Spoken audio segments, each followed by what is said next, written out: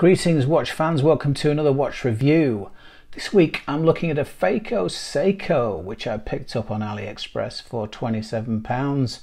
When it arrived it had a lot of dust inside the watch and what looks like a piece of someone's skin near the 12 o'clock position.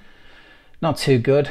You don't get a full see-through case back with this, just a sort of attempt at the logo on the case back.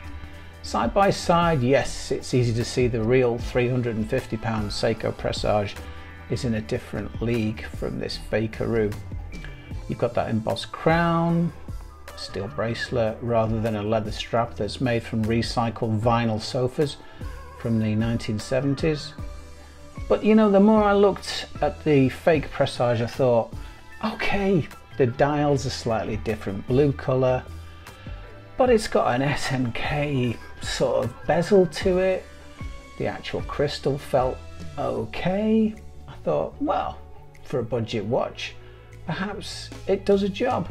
Yes, the date window is slightly smaller than the actual date wheel numbers and it's got a scratch on it even though it's brand new, but it's probably got a nice, you know, Epson or a Miyota type quartz movement inside and yeah, it's got a fold over clasp that's made of uh, what? Yeah, that's what you get.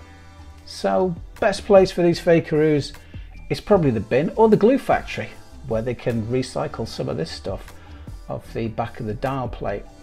Anyway, I gave it a blow and a clean and everything and it sort of looks okay. Thanks for watching. Tune in for more watch reviews anytime or visit www.thenorthernwatchco.com. See you next time. Bye.